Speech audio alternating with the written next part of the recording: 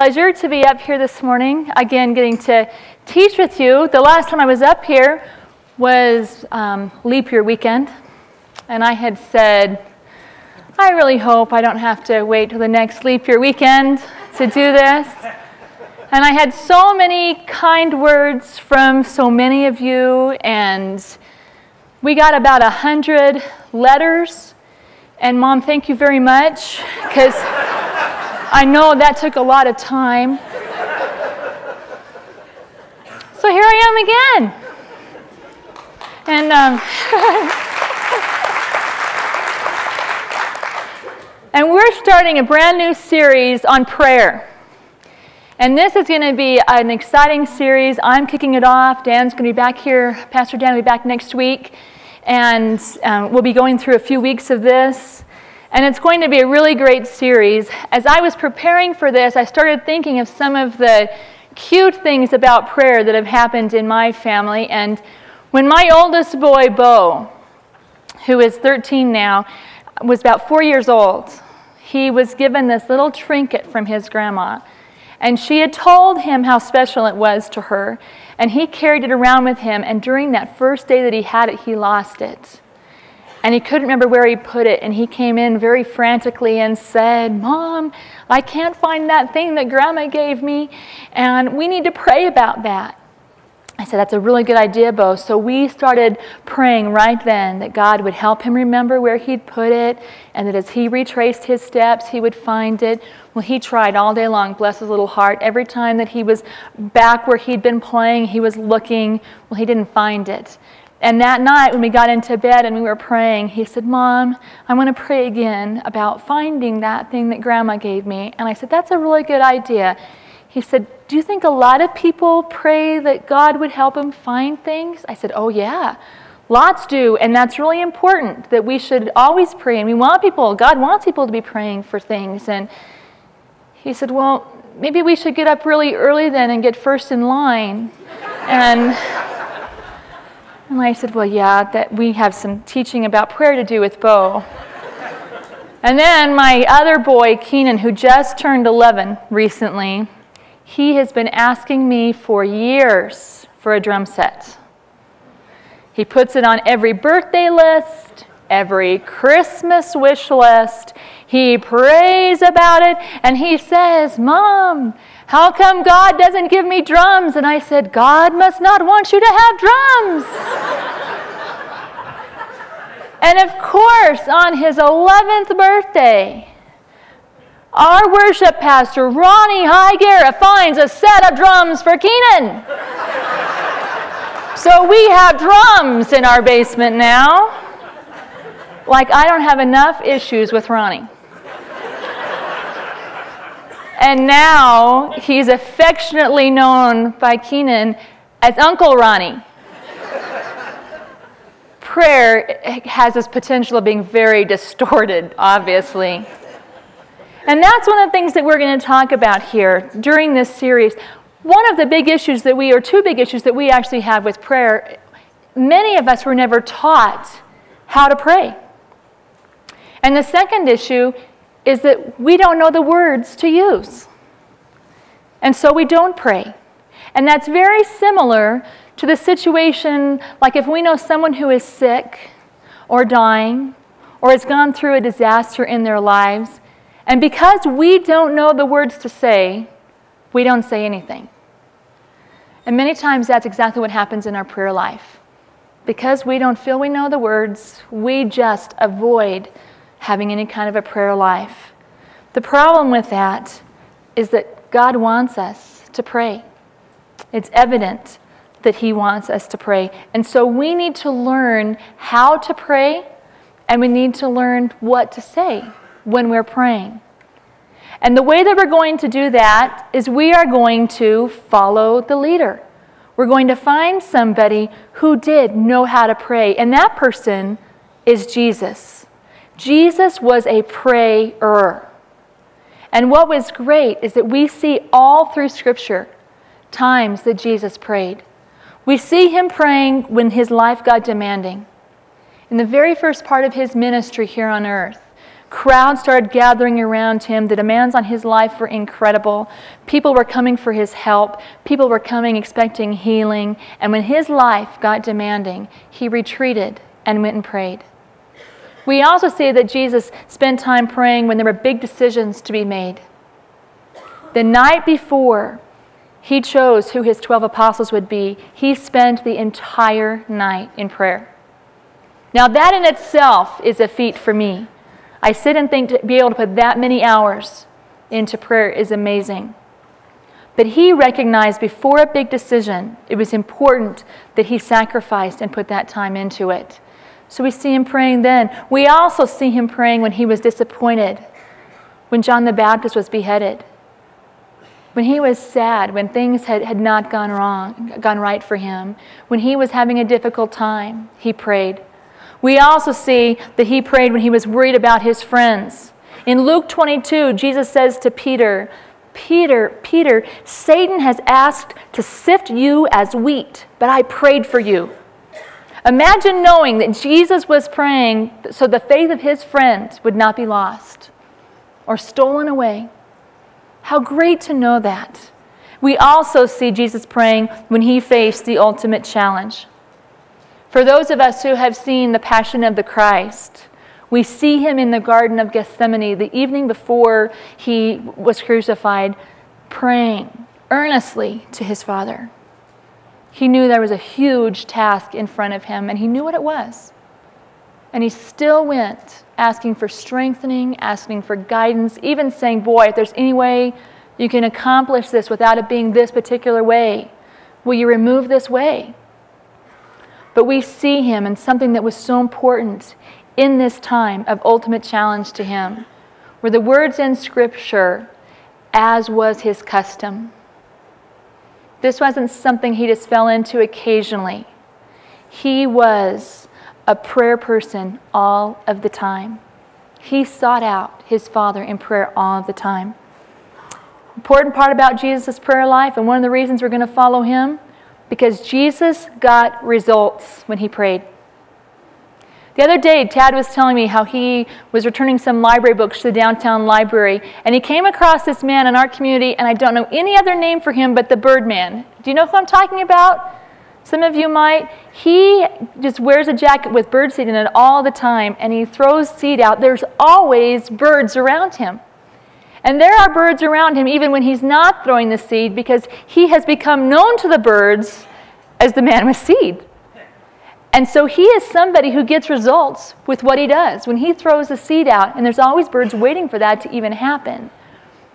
And when Tad was telling me about that, I thought, boy, you know, that is just, that's a great example of what Jesus is, is just like. His prayer got results. And we need to learn about how to get results just like that. There's scripture in Luke again, in Luke 9, where Jesus took Peter, James, and John with him up to the mountain to pray. And when he was praying, his face shone bright, his robes became white and glistening. And after he prayed, the three disciples heard God's voice saying, This is my beloved Son, hear him. Jesus' prayer got results. Imagine if we had a prayer life that was so powerful that our countenance changed when we prayed. That after we prayed, people said, Wow, I heard the voice of God. His prayer life was one that got results. And that's why we're going to follow after him. And why is a productive prayer life so important? Because our primary purpose, the reason we are here, is to have a relationship with God and to experience Him in our lives. And the relationship and the way that Jesus experienced God was in communication and prayer with Him. And so we see over and over in the scripture the one consistent method Jesus used in communication with His Father was prayer. And since that's what He used to build His relationship, that's what we should use to build our relationship with God and so we follow the leader. This series that we're going to be going through here at the church is going to be using the model of the Lord's Prayer. And as I said, I'm starting it out this week. I'm giving you an introduction to prayer. I'll also give you a few bits of, of information about the Lord's Prayer as we, we get into it. But over the next few weeks, I will tell you, our prayer lives can be changed radically, powerfully, into a prayer life that produces great results, into a prayer life that changes our relationship that we have with God. And I'm excited to see this happen. One of the things that I have, have said we, uh, we're going to learn about this series, these are my alliterations, so have fun with me. We're going to learn how to converse with the Creator, how to dialogue with the Deliverer, talk with the teacher, and I threw this one in for Ronnie jive with Jesus. now, on your outlines, if you would like to go with me, um, there's a purple outline that we've provided. On the front of that, we're going to go through five steps toward understanding the basics of prayer. Five steps. The first step of this is that we're going to turn from what prayer is not. We're going to turn from what prayer is not. What we're going to do during this study is we'll be using the version of the Lord's Prayer out of Matthew 6 and this first part of Matthew 6 that I'm going to read um, has to do with this. What, what prayer isn't? You can open your Bible and, and read with me. I'm starting at verse 5 in Matthew 6, or you can follow along on the screen. But it says, Jesus says, And when you pray, you shall not be like the hypocrites, for they love to pray standing in the synagogues and on the corners of the streets, that they may be seen by men. Assuredly, I say to you, they have their reward. But you, when you pray, go into your room, and when you have shut your door, pray to your Father who is in the secret place. And your Father who sees in secret will reward you openly. And when you pray, do not use vain repetitions as the heathen do, for they think that they will be heard for their many words. Therefore, do not be like them for your Father knows the things you have need of before you ask Him. This passage tells us some important issues to avoid when it comes to praying. First of all, there's a wrong way to pray. As it's pointed out here, out in the open prayer, hoping people will notice you is the wrong, is the wrong way to pray. The idea behind this kind of prayer is that you're hoping to be heard, you're hoping to appear religious or holy or righteous because you have no problem praying out loud somewhere. But the scripture says if you do this, that's your reward. Right there, what is seen by men. Because God recognizes this as falseness, as attention seeking, and as pretense. He views it like a show, not like a sincere approach. They're simply empty words hoping for the appearance of looking religious. And when we shout out empty words in public, it's almost like we're trying to pretend to be something we aren't.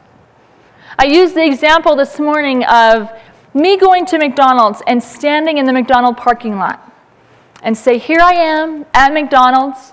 I'm here every day. I'm hot. I'm smothered with ketchup. I'm a hamburger. Now, after I said that, Keenan said, You really need to find a better example, Mom. and I said, Well, give me one. He goes, Okay, you could have a lot of hair accessories, but you're not a beautician. I said, Okay. He said, You could have a lot of clothes, but you're not a, a designer. And I said, Okay, enough. But the idea is the appearance does not make you into that person. Another example of this um, is a theatrical production. If we think of a, that this is a theatrical production we're putting for God, and it's not that. He wants us to be authentic. He doesn't want us just out loud proving our own ability. The second issue that is wrong and that we can do wrong in prayer is there are wrong words to pray. The heathens used vain repetition and they used them as spells. It was almost as if they felt like if they could memorize something and continue this mantra over and over, people would ooh and ah. They're so intelligent. Look at how much they can memorize. And they can continue to say it without stumbling or having any problem with their words. And my, aren't they religious? Aren't they righteous? But the problem with vain repetition is it's actually very phony. I thought of the fact that I, I've played piano for years. I could come in here and have memorized an incredible piece of music and come to this keyboard and play it, and you guys would ooh and ah. Chalane is really good at the piano. I can't believe Ronnie doesn't put her on the worship team.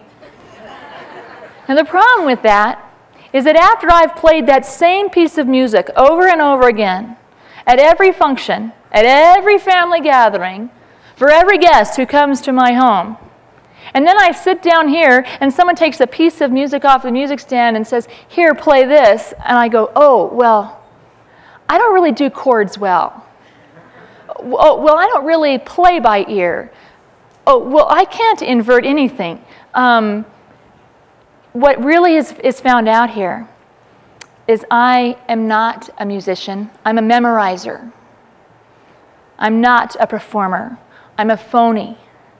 And that's what happens with vain repetition. And that's why Jesus says, don't do that.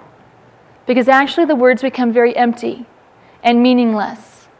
Another example of vain re- repetition would be if in your life, if your spouse, your children, a friend, a co worker, your boss, whomever, always used the exact same greeting or information with you when they saw you.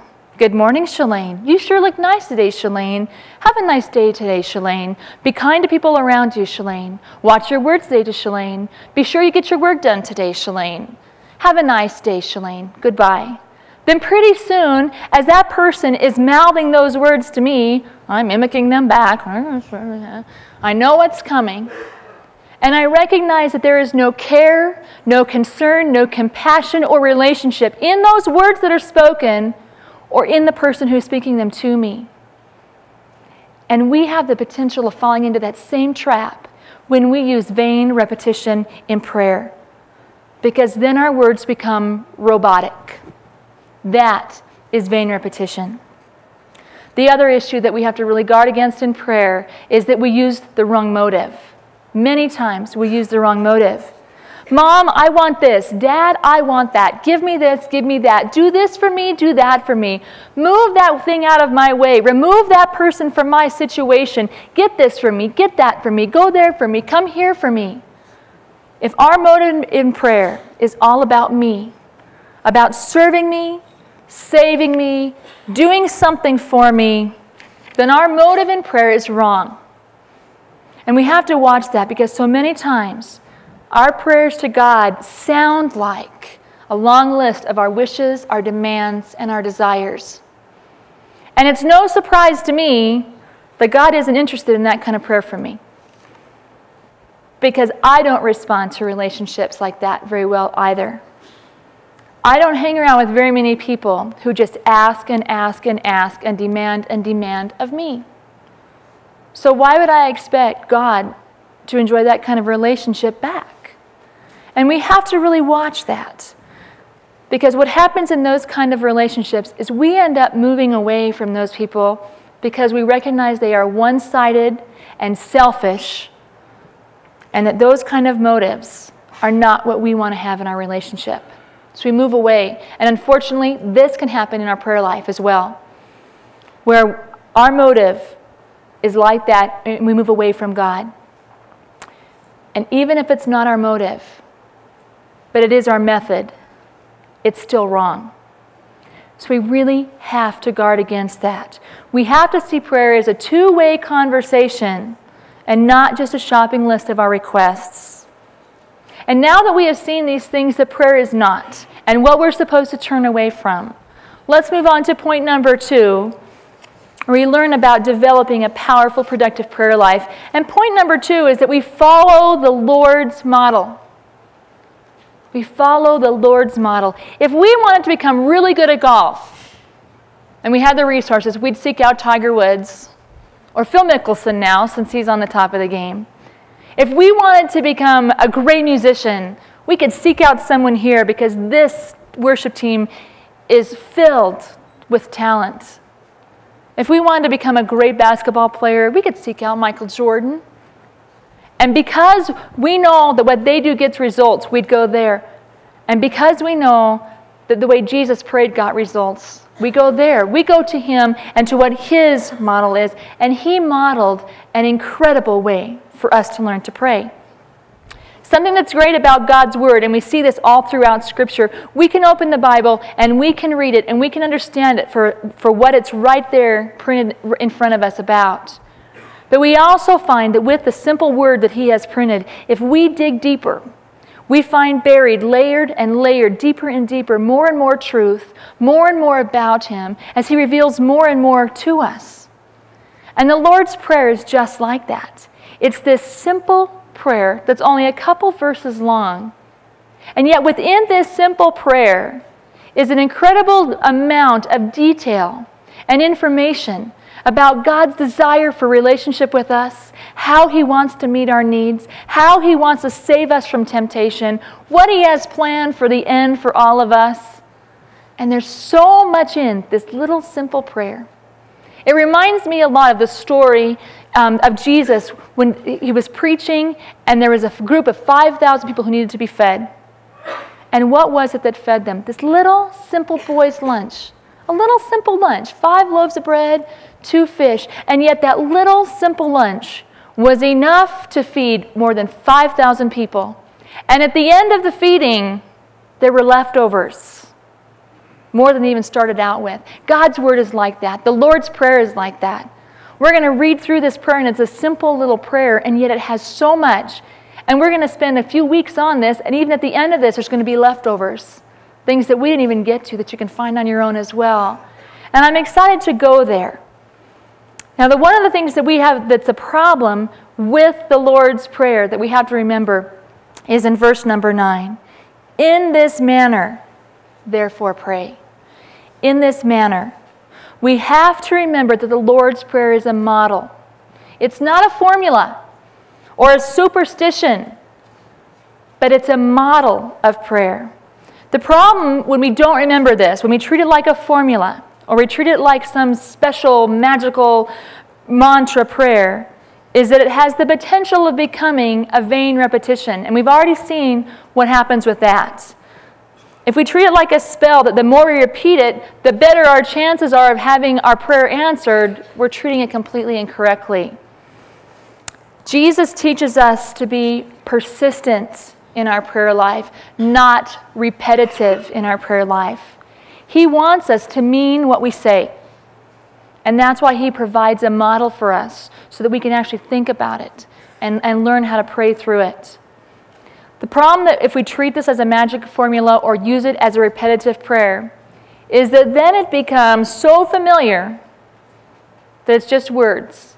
And we allow ourselves, our minds to wander as we're going through it. As a quick exercise, just to, to kind of show you what I mean here, I'd like you to answer a couple of questions, and please answer them out loud. They're all very simple. If you plant an acorn it grows into a tree that is called an. Very good. If a house is on fire, there's gray stuff that comes out of the top, and that is called. The sound that a frog makes is a. Very good. The white of an egg is a. The white of an egg is an egg white. it's not a yolk. But you see how easy it is just to start saying words, thinking they even have meaning, but they don't. And that's what we have to avoid. That's how we look at this as a model. Now, I don't want you to get me wrong. There is so much comfort in having this prayer memorized. And it's wonderful to have Scripture memorized. And to be able to fall back on this prayer and use it to bring you comfort is exactly right. And I encourage you to do that. But to utilize this prayer as your standard prayer or your staple in your prayer life is misusing this prayer. Because Jesus said, in this manner, I want you to pray. It's a model, it's an outline that I want you to, to, to understand. What we're going to do next is go through this prayer out loud together. On the back of, of the sermon notes is a copy of the prayer, and we also have it up on the screens. And I'd like you to say it out loud together. And remember, think about the words that we are saying. Remember, this is a prayer. Don't use this as whatever you memorized when you were five or six or ten years old, but it's a prayer, and let's pray it together. And we'll be starting together. Um, Our Father in heaven, hallowed be your name. Your kingdom come, your will be done, on earth as is in heaven. Give us this day our daily bread, and forgive us our debts, as we forgive our debtors. And do not lead us into temptation, but deliver us from the evil one. For yours is the kingdom, and the power, and the glory forever. Amen. Good reading. Now turn to somebody next to you and say, You did a really good job praying. You should do that more often. Very good.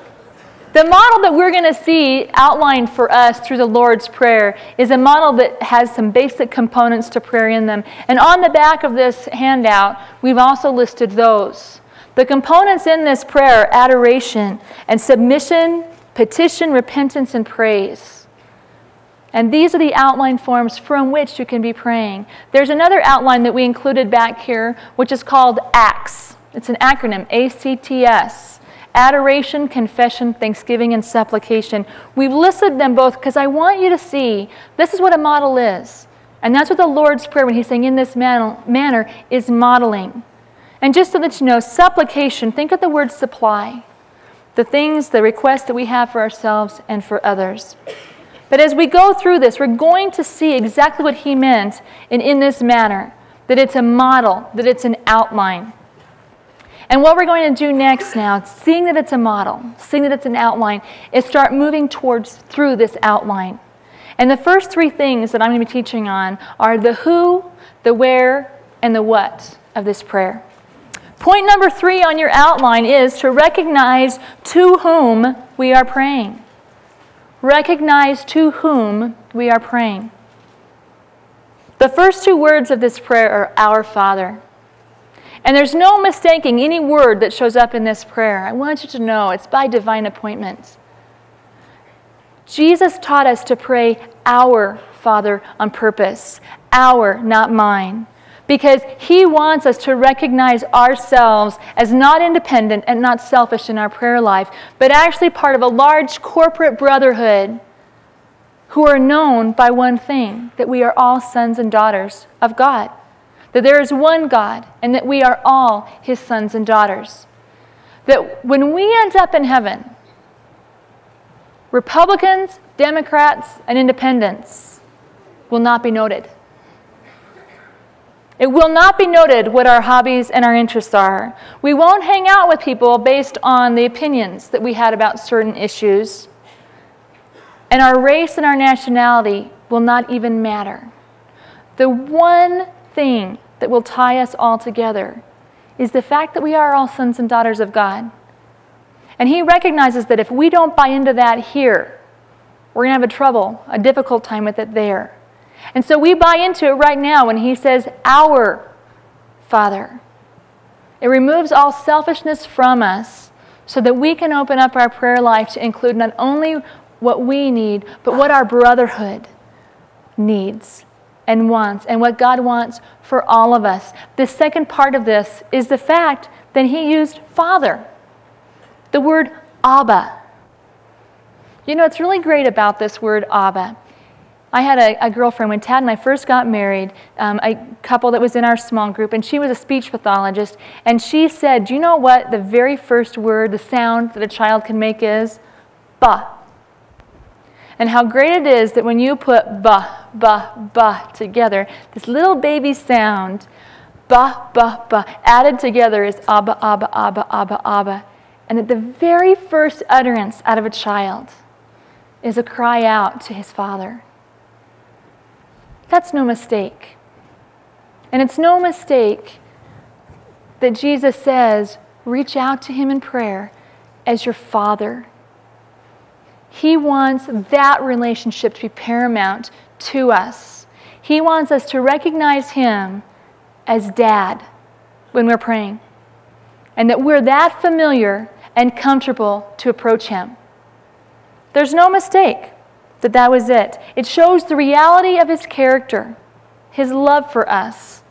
And throughout Scripture, we see that names that are used have significance.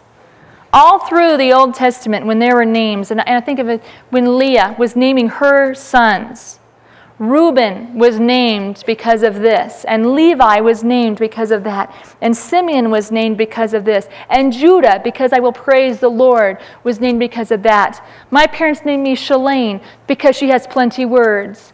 And there's always, there's always meaning in our names. Besides significance, names also show relationship. All through the Old Testament, we see titles for God, the Almighty, which shows his power, the Sovereign One, the Most High, which illustrates his supremacy, Jehovah shows his lordship. And in the New Testament, this is the first time we call him Father, the one who loves us like a dad. Now, we see images all through the scripture of him, him being referred to as the father of many nations, the father of Abraham, Isaac, and Jacob. We see him being referred to as the father. But this is the first time the relationship is actually asked that we were not refer to him, but talk to him as father. It's not a reference, but rather a relationship now. And this is the first time that this is taught to us. We don't talk about him, we talk to him as Father. For all of you fathers out there, you know there are few people on this earth who you give the privilege and honor of calling you dad.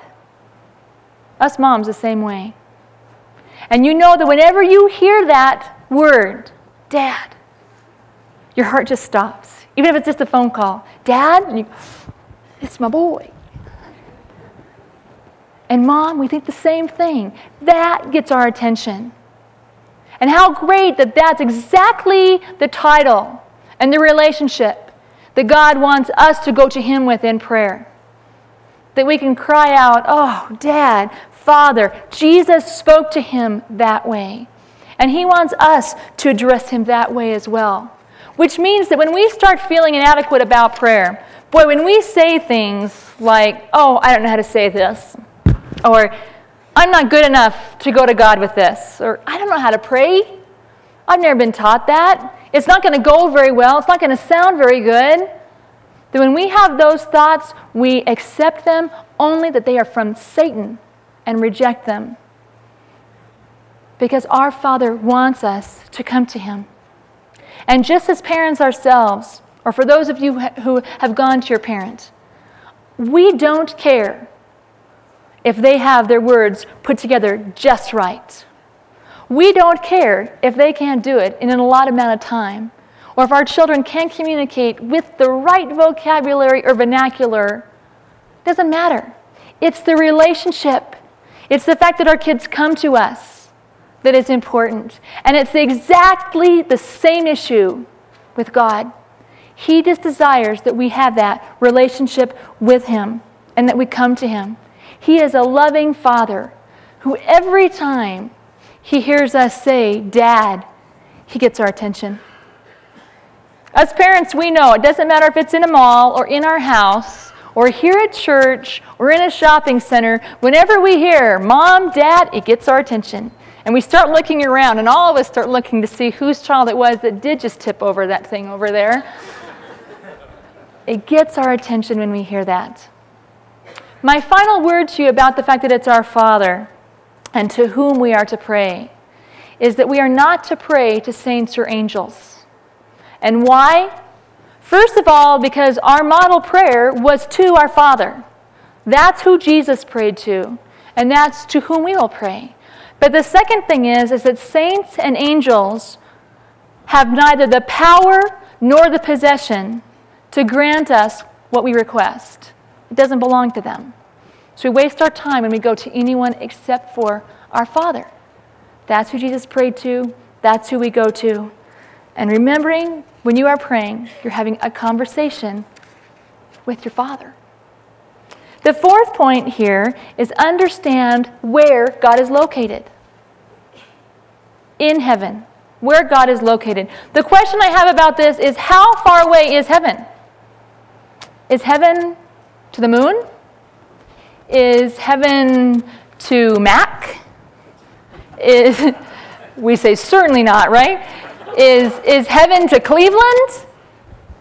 The problem is when we start putting some kind of a distance um, positioning on heaven, we see God as being farther and farther away from us and harder and harder to access. And that's one of the things that happens in our prayer life. As we say, you know, He's really so far away. I mean, for heaven's sakes, He's way up there and we can't even access Him. And when I start thinking about some of the things that we say about approaching God, like times when we say, Oh God, as I come into your presence, or Lord, as I approach your dwelling place, I can imagine God saying, Where do you think you've been? Because Jesus said, Lo, I am with you always. And so we tend to make heaven seem like this some distant, distant place. And Jesus says, I'm with you always. So I started looking up where heaven is and what heaven is. The Greek word for heaven is Uranos, U R A N O S. It's where we get the planet Uranus from, the name for the planet Uranus. In this prayer, it's actually in the plural form, which means that the prayer would actually say something like this Our Father, the one in the heavens. And then when you, I looked in the New Testament and found out what it said about the heavens, the heavens was used to describe the atmosphere, the air that we breathe, the sky that we look at, for what's right around us. It's that close. It's right here. It's like it came out of the palm of your hand. Like when you say that appeared out of thin air. That is what I found. And I sense that what Jesus is trying to get us to capture is that we would say, Our Father, the one who's right here, who's this close, who's never away from me. You're right here, abiding with me, standing by my side and all around me and with me, always. And what peace and comfort that brings to a prayer life when you don't feel like you're trying to access somebody who you have to scream to get to. He's right here. And that brings such comfort to know that He's always right here with us, always. And with that truth, we know the who, and we know the where, and now the what. And number five is to grasp what it means to hallow God's name. To hallow God's name. Now, I put the word hallow right up there on that list of difficult Christian words. It's listed with sanctified, sacrament, consecrated, begat, all those words that we read and go, oh, why don't you just use the word you mean? Why don't you just say Joseph had this many sons instead of all the begatting thing? When I run into one of those difficult words, I turn to a, a neat translation of, of scripture that I have found by Eugene Peterson, and it's called The Message. And so I opened up the message to study about this, and in the message, Eugene Peterson wrote this. Our Father in heaven, reveal who you are. Reveal who you are. And I thought, oh God, that you would reveal who you are, and that I would reveal who you are. How wonderful to look at what he's really saying here is that his nature would be known. And what is God's nature? He is holy, He is just, He is graceful and forgiving, He is peaceful and compassionate and loving. And what He is saying here is that if we could adapt that nature into our lives, we would be hallowing God's name. It would be as if we said, The things that I say are things Jesus would say. The things that I do are the things Jesus would do. And by doing that, I am hallowing God's name. I am reflecting His nature. I think it's really important that we note that one of the very first components of this prayer is not that His laws are kept or His rules are followed, but that His nature is revealed and that we have a part of that. We are the reflection of God's character. And it's rather amazing that God has allowed the holiness of His nature on this earth to be bound up in our character and our conduct. And that is a huge and awesome responsibility. One of the first parts of this prayer is a reminder to us reflect God's character in your life. It's as if we are saying, God, I want you to be able to sign your name on my day that at the end of my day, you can write a big G O D on the day and say, Yep, yeah, she lived that day for me. She hallowed my name. And too many times we let other things sign their names to our day. We let our jobs and our ambitions and our desires and our addictions and our habits and bitterness and discord and unforgiveness and hatred and gossip and even good things, like our hobbies and our interests, sign their names to our day. And when we let that happen, we are not hallowing God's name. And it's important that we remember that when the name of God is hallowed or blasphemed, God is either glorified or disgraced by us. We are to show his nature. We are to hallow his name. And the way that we do that is that we would pray to be like him and that we would start living a life that he would sign his name to, that we would hallow his name. We can start doing all of this by when we pray, that we pray through this model like this. Oh, Father, our dad, we're so blessed to be your children. We're so blessed to have this relationship with you. And I'm so glad you're right here, right now, all the time. Even when I don't feel you, there's a reality that you are right here because you promised that. Today, may I live a life that brings glory to you. May the people around me see you because I hallow what you are in what I say and what I do. That's how to use the beginning of this prayer like a model that you're just using the components and starting to go through it. And this is the first step of this powerful journey that we're going to go on together to improve our prayer life and make it productive and bring results. I'd like to ask the worship team to come back up. And as they're coming back up, I just want to encourage each one of you. This is such a great opportunity to really become a person who prays and that, and that these prayers actually produce results. And that's what we want. We want a great new relationship with our Father. We want results in our prayer life. And this series is actually going to teach us to move along that way. Will you stand with me?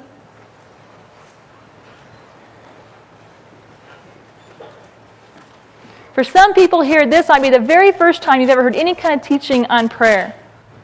And your prayer this morning might be, okay, God, I'm ready. I am going to really try to start praying to you as my Father. I'm really going to get a prayer life going. For some of you, it might be, I know some of this, but you know, I have just, I have stumbled in my prayer life. But as we learn together, as a congregation over and a group of people over the next few weeks about how to really have productive prayer life, Let's join together and do it. No matter where you are, let's increase the productivity of our prayer life. I'd like you to bow your heads with me and no raising hands. We're just going to, as Jesus said, go into our quiet room because our Father who will see us. And I would like you to quietly just pray with me. Father, thank you for being right here for showing us that we need to reveal who you are in our lives so that we can bring honor to you and so that others will see who you are. And we ask that you just be with us during these weeks as we learn from Jesus, the most incredible prayer warrior and teacher out there, how to have a great prayer life, one that brings results, one that, that turns us into people who really hear you and really see you working in our lives. I want to be part of that, God. I want to have that relationship with you. Open myself up to you for that purpose so I can glorify you. In Jesus' name, amen. We believe strongly in the power of prayer here. If there's anyone here who would like to have prayer for anything going on in your life, I'd like to invite you. You can come down forward here. We have a ministry team who would love to come and pray with you. If you're more comfortable to come to our prayer room, please go to our prayer room. But don't miss an opportunity just to converse with the Creator. And as we worship together, enjoy this time with Him.